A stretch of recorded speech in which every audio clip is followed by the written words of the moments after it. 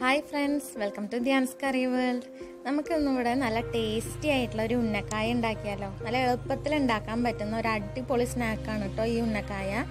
എല്ലാവരും ഒന്ന് ചെയ്ത് നോക്കി നോക്കണം. നമുക്ക് എളുപ്പത്തിൽ തന്നെ ഇത് ഉണ്ടാക്കാൻ പറ്റും. അതുപോലെ തന്നെ ഒരു വെറൈറ്റി ആയിട്ടുള്ള ഒരു അടിപൊളി ടേസ്റ്റിലുള്ള ഒരു പലഹാരമാണിത് അപ്പോൾ എല്ലാവരും ഒന്ന് ഉണ്ടാക്കി നോക്കുക ഇപ്പോൾ ഒക്കെ എന്ന് പറയുമ്പോൾ പഴമൊക്കെ നല്ലോണം നമുക്ക് കിട്ടണില്ലേ അപ്പോൾ പിന്നെ എന്തായാലും ഇതൊന്നും ഉണ്ടാക്കി നോക്കാൻ വലിയ പാടൊന്നുമില്ല.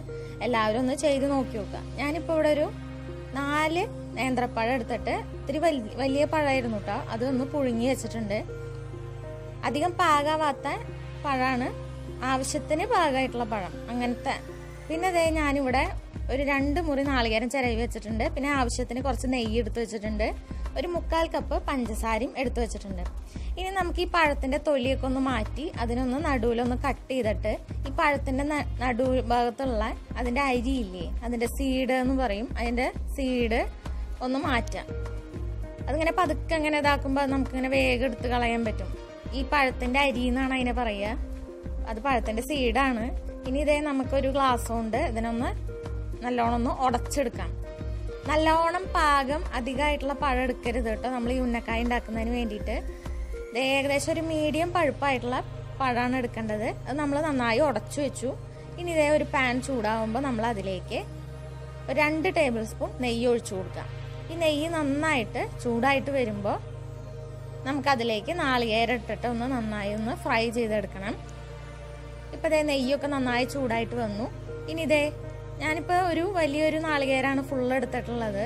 അത് ചിരവീത അതിലേക്ക് ഇട്ട് കൊടുത്തിട്ട് നല്ലോണം ഒന്ന് റോസ്റ്റ് ചെയ്തെടുക്കാം. നല്ലോണം റോസ്റ്റ് ചെയ്തെടുക്കണം.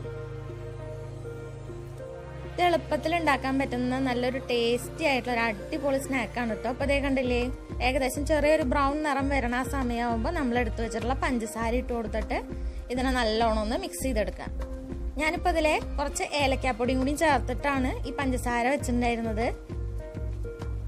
ഏലക്കയുടെ സ്മെല്ല് ഇഷ്ടമുള്ളവർ ചേർക്കുക. അല്ലാത്തവർ അത് ചേർക്കേണ്ട ആവശ്യമില്ല. ഞാൻ ഏലക്കായ ഇട്ട് കൊടുത്തിട്ടുണ്ട്.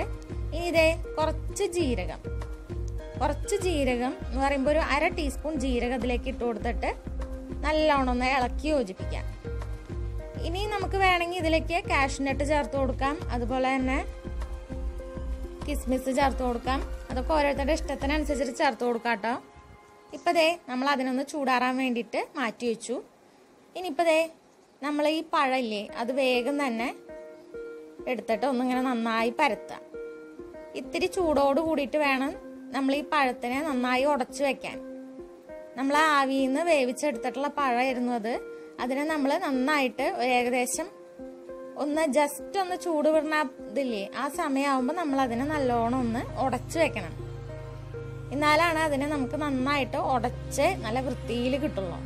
ഇപ്പതേ അത് നമ്മൾ കൈയിന്റെ ഉൾഭാഗത്തിട്ട് നല്ലോണം ഒന്നിങ്ങനെ പരത്തി അതിന്റെ ഉള്ളിൽ നമ്മൾ നേരത്തെ തയ്യാറാക്കി വെച്ചിട്ടുള്ള നാളികേരത്തിന്റെയും അതുപോലെ തന്നെ പഞ്ചസാരയുടെയും ഏലക്കയുടെയും അതുപോലെ തന്നെ ജീരകം ഇട്ടിട്ടുള്ള മിക്സ് ഇല്ലേ നെയ്യിൽ ഫ്രൈ ചെയ്തെടുത്തിട്ടുള്ള മിക്സ് ചേർത്തിട്ട് ഏകദേശം ഈ ഷേപ്പിലാക്കിയിട്ട് നമുക്കിതിനെങ്ങനെ മാറ്റി വയ്ക്കാം ഇപ്പം അതേ നമ്മുടെ ഉന്നക്കായയുടെ ഷേപ്പാക്കിയിട്ടുള്ള മിക്സ് റെഡി ആയിട്ടുണ്ട്. ഇനി നമുക്കിതിനെ ഓയിലിൽ നന്നായി ഒന്ന് ഫ്രൈ ചെയ്തെടുക്കണം.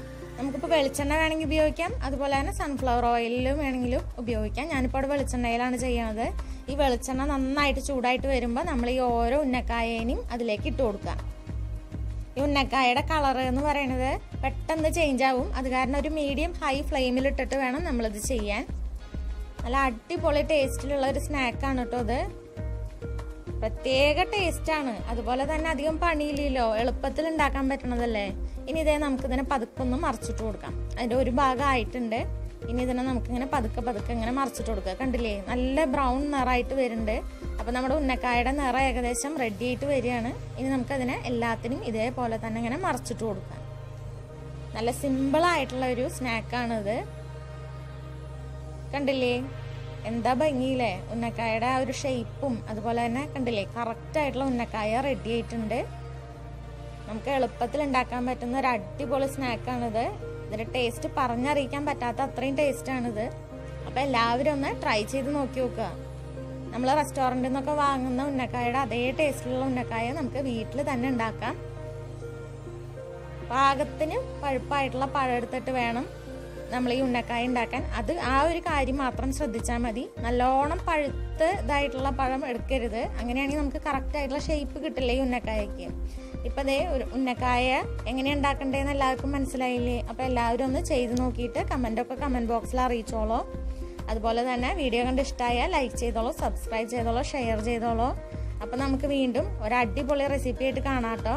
അതുപോലെ തന്നെ സബ്സ്ക്രൈബ് ചെയ്യാത്തവർ ചെയ്തോളോ. തൊട്ടടുത്തുള്ള ബെൽ ബട്ടൺ കൂടി ഒന്ന് ക്ലിക്ക് ചെയ്തോളോ. എന്നാലാണ് പുതിയ വീഡിയോന്റെയൊക്കെ നോട്ടിഫിക്കേഷൻ നിങ്ങൾക്ക് കിട്ടുള്ളൂ. അപ്പോൾ ടേക്ക് കെയർ ഫ്രണ്ട്സ് ബൈ